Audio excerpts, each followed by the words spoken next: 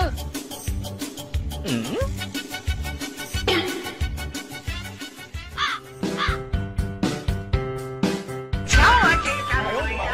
I really gotta hold on.